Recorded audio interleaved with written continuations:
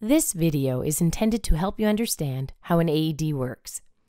The ECG strip you are going to see is from Steve's actual save, a real person who is alive today because of an AED and some good Samaritans who took action.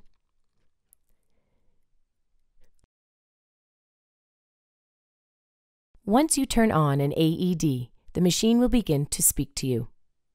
Follow the voice prompts. Once the pads have been placed, the AED will instruct you to stand clear and to not touch the patient while it does an ECG of the heart. The AED is designed to determine if the heart is in a normal rhythm or if it needs to be shocked. In this case, the heart is in ventricular fibrillation, the most common rhythm when someone goes into sudden cardiac arrest. Notice how the heart is not beating effectively. It has electrical activity, but it is uncoordinated. The heart looks like it is shaking like a bowl of jelly. When in this rhythm, you can see the heart is not effectively pumping any blood out. This rhythm is deadly and has to be stopped. When the AED reads a shockable rhythm, the AED will either instruct you to press the shock button, or some AEDs are automatic and will automatically shock the person.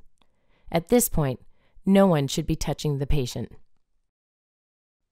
The AED will send an electrical current through the heart and back again. The purpose of this shock is to stop the heart completely for a very short period of time from this uncoordinated rhythm and give it time to reset.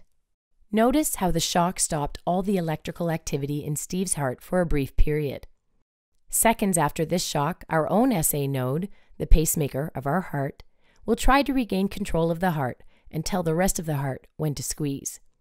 It can take up to two minutes for the heart to reorganize itself electrically after a shock, before it will function again and effectively pump blood to the brain. This is why you will be instructed to begin CPR immediately after the shock. Your job is to push hard and fast in the center of the chest in order to manually pump blood to the brain to keep the brain alive. Your compressions will not interfere with the heart trying to reorganize itself electrically, so do not worry about that. After two minutes, the AED will instruct you to stop CPR. It will reanalyze the heart and advise whether another shock is needed.